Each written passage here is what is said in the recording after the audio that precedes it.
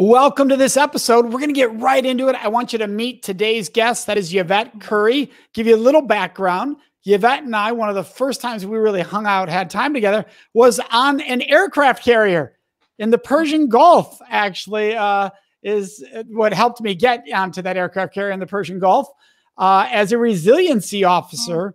And when I say resiliency officer, not serving in the US military, but in the role of a resiliency counselor uh, on the ship but yeah, we're out in the middle of the Persian Gulf and missions were being flying off to targets. And here we were on this incredible experience because you were brought in to help those serving in the US military with resiliency when they were being put into situations where they weren't going to be home as soon as maybe they hoped to be home and just help with the stress, everything that was happening at the time. And that's what we're going to talk about today. So, first of all, welcome, Yvette. Great to see you.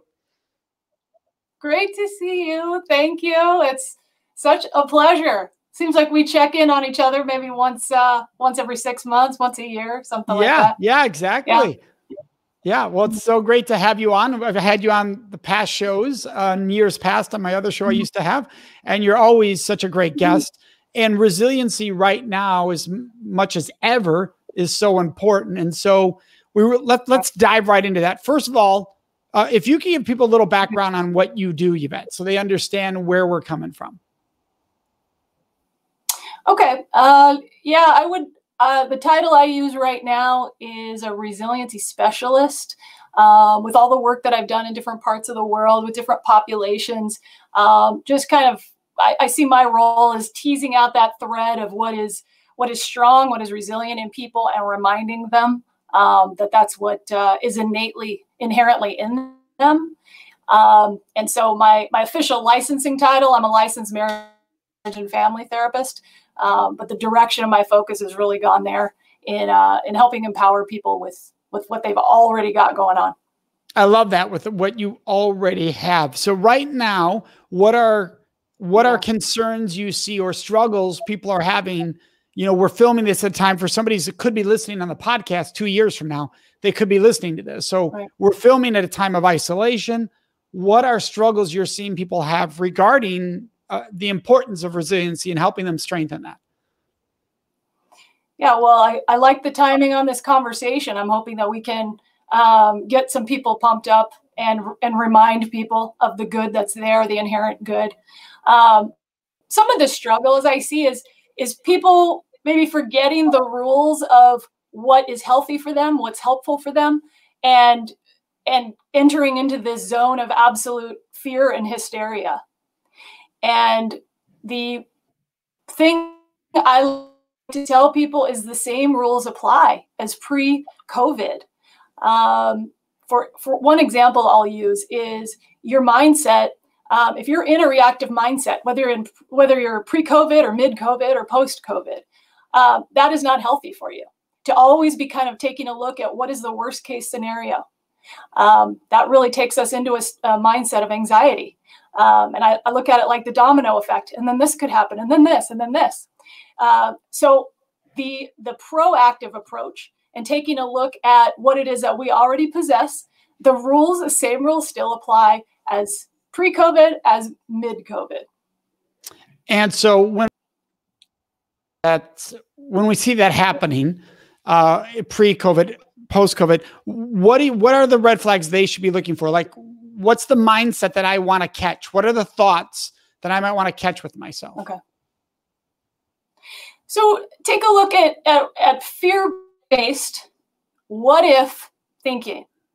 So, as I was saying about the domino effect, that only takes us to a place that doesn't serve us. This could happen, and then this, and then this next worst case scenario. So, the red flags are a little bit of feeling what's going on in your body. Are you starting to feel terrorized? Are you starting to feel hysterical? So, taking a moment to step back from that and, and observe, observe those thoughts, observe your reactions, and ask yourself is this reality based? Is this something I can control? So those are those are some things that seem to be really effective with people when they start asking themselves those questions. All right. So when they start asking that, what's the difference? Because I know people right now that are going, I feel like I'm losing it, but what they're experiencing is actually not losing it. So how does somebody also come down the paranoia, right? Of, of am I am I in trouble when they can know that what you're some of this or what you're feeling is normal over here would be a red flag like is there you know how do people measure that okay. Um so part of it is what it is that's happening in your body. Like are you feeling like you are losing control hysterical um, blood racing uh, pulse racing? Uh, are you are you going down this mental path in, in cognitive behavioral therapy? You know these these um, these thought distortions like catastrophic thinking that's going absolute worst case scenario well the truth of the matter is checking in with yourself and asking yourself the truth do you know for a fact that that is going to occur? The majority of times we can we can we can check that thinking the majority we're going to say no i don't know with absolute certainty that that absolute worst case scenario is going to happen. And the truth of the matter is we do not have control over what's going on out here pre-covid or mid-covid. We have control over what's here so when we can get this part calmed down spot the red flags have that self-talk maybe some other things you, you and i are going to get into physically that you can do um, you operate out of a much more powerful position in making decisions. So, can I give you one example from sports? A- absolutely. That's what we're here for. Okay. Yeah. Okay. Okay. Because I'm talking a lot. So, I think of when an athlete's in a gym and they're lifting weights, if lifting from the side, okay, that is not good for your back. You're going to get pulled off to the side. It's always recommended I'll say for the most part, it's recommended. You want to lift those weights from the center. You want to use your knees, okay, from the center. It's the same with us emotionally. When we're operating from the center, we're not way out here with all these predictive, catastrophic narratives. When we're lifting from the center, we have much more wisdom. We have much more strength and power from there. I love that analogy. That is so great because anybody who's ever done sports or lifting of any kind gets that. You have to have a strong core, right? That's the core is yes. so vital to so many sports, and the core is vital as we age, right? That becomes true of our bodies. And that's what you're talking about, our core, right? It's our center. The difference is it's just a little bit above the core we're talking about as far as physically on our body. It's is it the heart core that we're talking about? Or is it or is it mental core? Is it both? How does where where is that core coming from?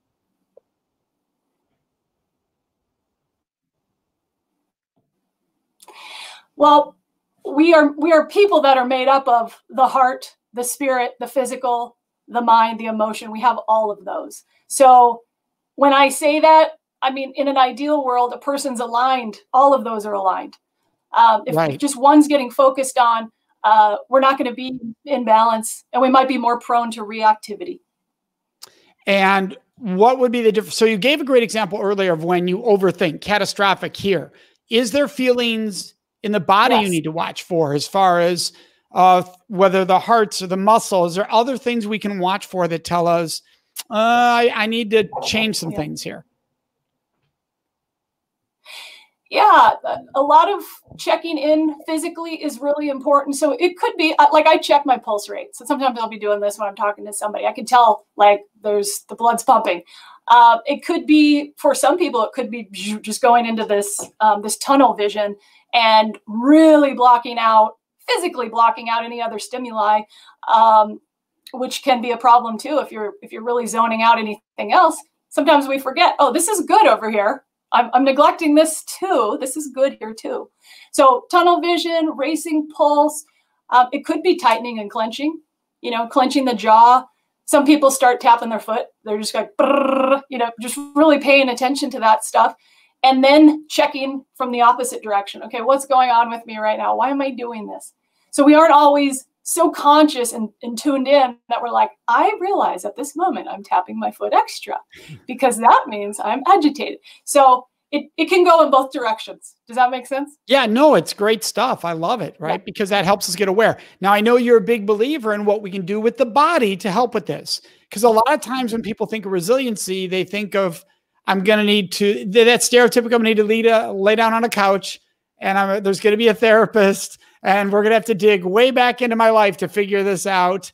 right? I know you're giving that look right now, right? That stereotype is out there. You and I both know it, that stigma. So you, I know you talk a lot about, because we've talked about this in the past, the little things we all can do, the things that we can do that can make a huge difference physically, body. So let's go there. You've had, what are things somebody can do when they are, when they're struggling with, with being resilient? What can they do body wise, motion wise? Mm. Okay. And I'm, I'm laughing at that because I'm picturing that whole thing. Lay on the couch and talk about your mother, um, you know, for nine years. So no, that's that's not what I'm about. Um, so physically, there's a lot out there right now, and this this goes back to my original point. Pre-COVID, healthy steps apply now. Um, so we are uh, I got distracted by what it says on the screen. Yeah, that's Lisa saying hi. So hi, thanks Lisa for popping in and saying hi. hi so Lisa. just so you're aware, anybody watching right now can leave comments and we can bring those in and talk about them. So as people okay. are watching, comment. So ask about resiliency, way Yvette can help you, and we'll be able to address that. So thanks, Lisa. Yes. Uh, so so more physical stuff, and it's out there right now. A lot is mindfulness and meditative practice. That still applies during COVID. Um, and mindfulness can include everything from tuning in to the sensorial perceptions. And I like to go with people down the list. You know, what are you hearing? What are you smelling? What are you noticing? What do you feel in your body? What do you feel in the chair? So getting getting tuned in with your senses. And the reason for that is because, to my point earlier, when the mind starts going off center, you know, like that analogy, it starts going out here to these what if scenarios and we're going way out here. We're no longer in the present moment in our bodies. We're out here in this agitated mindset. So you start doing simple things like notice some colors you didn't see before, noticing sounds you didn't hear before, notice textures you didn't before. That'll bring you back. It could, for a lot of people, bring you back to the moment in your body. Along with those breathing techniques, those breathing techniques that we hear about, I used to say, I don't need the hippy whippy stuff, that hippy whippy therapy stuff. Well, now I understand you, as you're breathing, you're oxygenating your blood. You are in a shallower breathing state when you're agitated. When you're doing that, you're depriving your brain of oxygen. So, allowing all of that to start flowing again, it makes sense. You're going to start thinking clearer again. And when you're in that clearer mindset, you're going to make decisions that are wiser. You're going to make much more informed decisions in a scenario you cannot control. So again, it doesn't change out here, but it puts you in a position where you can handle this stuff a lot, a lot better. So, what are some breathing techniques? You know, you and I are that's something we both believe in deeply, but some people have never gotten that. So, what are some simple things people can do to focus on the breathing, to bring that breathing back into the body? Okay. One example I learned while working with the military was box breathing, and it's it's a mental image. So as you're inhaling, say I, I like to say count to six while you're inhaling. I'm picturing this line in the top of the box, and then pausing, and then as you're exhaling, you're going down the side of the box, counting to five, and it's it's not one two three four five, two three four five. Your pause at the corner and then back so you're inhaling again. So imagining that while you're doing this exercise. And the main thing is it's bringing your attention back to your body to an, an autonomic thing we just are doing constantly. Now you're aware of it. So you're more present again. And then you have the biological effects while that, that breathing intentionally is pressing on that vagus nerve, which is built into our system to help us relax. So it's a lot of factors working at once. Love that. That's cool. Now, yeah. so that that's a simple little thing. The the breathing box. What are some other techniques? So we we've you've given some great ones so far for anybody who wasn't there, you know, two minutes ago with us. The breathing, the tactical, right, mm-hmm. becoming centered, and for anybody watching, we could be talking about putting your hands on your jeans and just yes. slowly touching your jeans back and forth, yes. right? Just uh, and just to get a feel for something that is grounded, right? That's right. the idea. Does you know, taking the shoes off and just feeling your feet to the ground. Can little things like that that ground people, yeah. can that make a big difference? Yeah, that's that's really in line with uh, with some treatment modality methods in PTSD, you know, getting people to get right back into the present um, and not in that kind of dissociated mindset. So well, I'm, glad, I'm glad you brought that up because a lot of times, you, you know, you did obviously extensive work with the military. I work a lot with the military. People have a perception that this isn't cared about by our government or U.S. military. This topic, when in reality, they're they're cutting edge trying to find out what's working out there, what neurologically they're trying to serve. The, the issue is there's so many numbers to so to limited providers, uh, and so that's one of the struggles but there, you said it yourself. You're like, I learned some of this working with the military. And I yeah. think people don't realize how much is being done there. Yeah, it, it is. There's a there's a lot of different angles coming in, um, cutting edge, as you said. A lot of people who care. Um, yes, there's a lot being done. Yeah, powerful. All right, so what are some additional tips you would really want everybody to get during this time of right now? We happen to be at a time of isolation. What are some additional tips people can take with them? Okay, so you've asked for a, a few uh, physical. So continuing on with the physical, when we ob- observe certain things going on in us, if we're getting too reactive, if it feels like we're we're getting a bit agitated over the top, I like to use a number scale. You know, one to a hundred. If you feel yourself getting to maybe a thirty, you might want to start backing yourself down. That's another way I look at it. Um, so physically, I've had people describe return almost returning to our primal state as we have more time on our hands in COVID, like getting out and gardening, getting Love out that. and be planting their own food. Yeah, I'm, I'm like, this is interesting. It's, it's like this side effect that I don't think anyone saw coming, and it's taking us back to our natural state in some ways. And it makes it to me, it stands to reason that pe- some people are thriving on that. So doing things of that nature it doesn't have to be gardening. I've just heard a lot of people say that like yeah but it's but it is um, out it's a natural outside activity. Yes. So that's given us our vitamin d. You know and another part of this is a lot of what we've heard our doctors saying all along. You know drink water get get hydrated. You're building your immune system. We need that right now. Getting outside getting in the sun getting that vitamin d exercising interacting with people who are safe for you. Um, so doing all these things that, that we already know, continuing those in a modified state.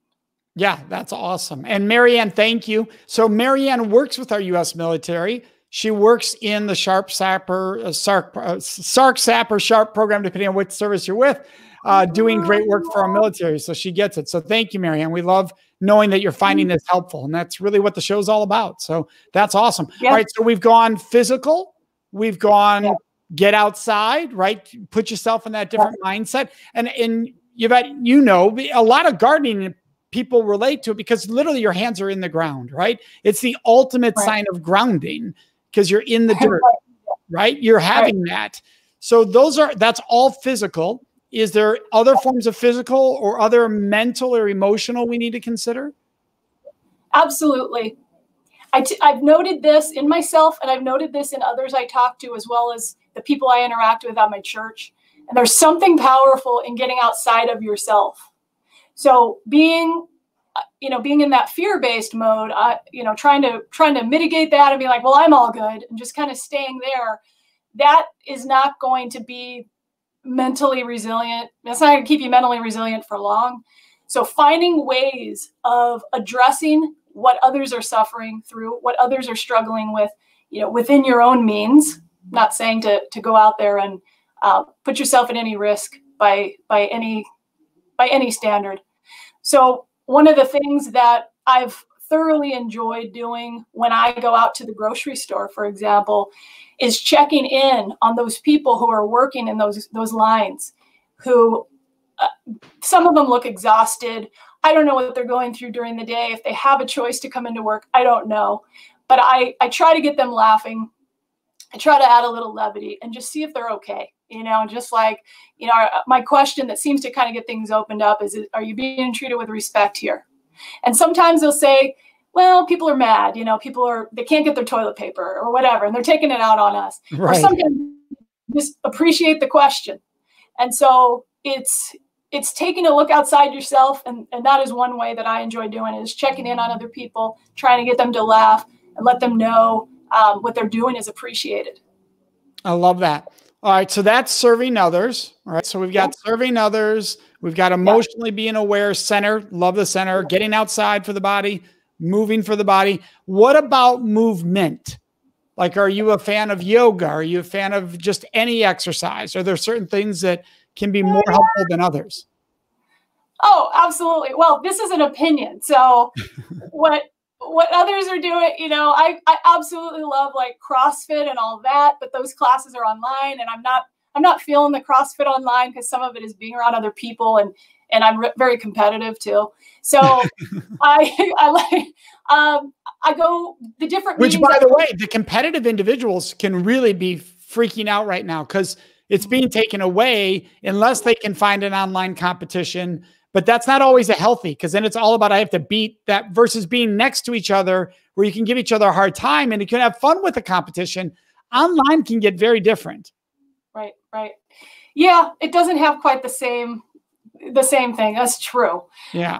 Um, so exercise wise, I prefer bicycling and walking and um, depending on where where you live where this you know where people are watching this the, the laws are different with um, with wearing a mask, not wearing a mask, social distancing, and all that. So I, I do want to say one thing on that about um, us coming together as as a, a human as humanity um, and not kind of turning on each other as let's say mask Nazis, for example. You know, if somebody is is is not quite following the protocol and, and one person is, I, I've seen people go at each other for that kind of stuff. And so I think another resilience factor is coming together and recognizing there is something stressful going on for a lot of us. Let's give each other a little extra grace or a little extra, um, just give a little extra. Yeah, well, I love that statement. Give each other a little extra grace. That's that's great terminology. So thank you for that. Any last tidbits? You know, we've covered so much. You've this has been awesome. Any last tidbits you want to, you know, our listeners or viewers are going to be like, oh, I, I needed that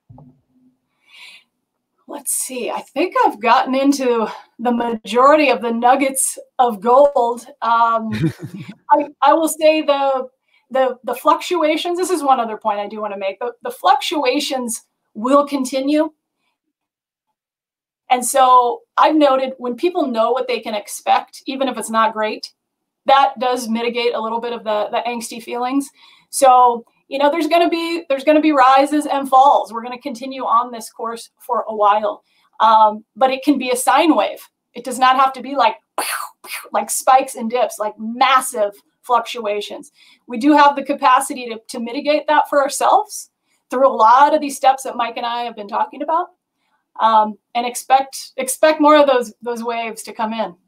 Yeah that's great. You know i, I remember it was trevor noah that I heard say it, but they were talking about look, if when the pilot gets on and says, We're about to have turbulence, mm. you're like, Oh no, but here we go, we're ready. But if they don't say it and suddenly you're getting rocked around, people are like, What's yes. going on? What's going on? What's going on? What and there's such on? a greater level of freak out and stress that yes. we need to be honest and say, This is going to be a long ride and prepare for the ride because that allows people to have a rational understanding of what's happening.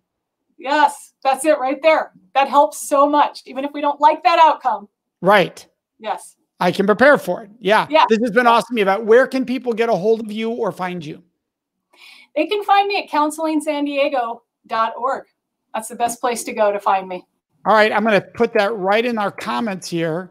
Counselingsandiego.org. Is that right? Yes. Okay. Awesome. And Currie is C U R R I E. Hopefully they can see that right on the screen there, but just so they don't think it's a right. Y when they look you up there. All right. Awesome. Thank you, Yvette. This has been fantastic. As always, you give such great content, such great insights for us to be able to implement in our lives. It's good to see you. I didn't even get to get to how you're doing, so we'll have to talk about that. yeah, time. we'll have to make time for that. Absolutely. So, uh, thank you. I really appreciate you, Yvette.